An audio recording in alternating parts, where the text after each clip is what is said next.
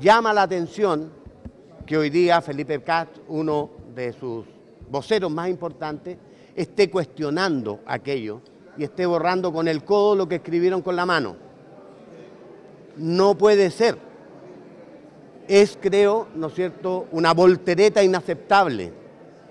Y nosotros tenemos que comunicarles que no permitiremos y haremos todos nuestros esfuerzos para evitar que se cuestione o revise cosas que ya están aprobadas por el método que es democrático, que es la discusión del Parlamento, el copago.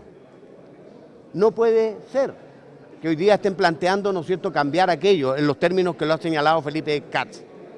Por lo demás, se está engañando al país, porque hoy día los apoderados, si quieren, pueden aportar voluntariamente lo que quieran, en cualquiera de los niveles. Lo que es inaceptable es que se condicione el ingreso de un alumno a que los papás paguen una cantidad mensual. Eso no es transable. Eso ya está resuelto en una ley de la República aprobada y en ejecución me parece, insisto, hasta inmoral que hoy día nos demos una vueltereta de esa naturaleza y que juguemos con la fe pública del país, porque sería claramente un engaño.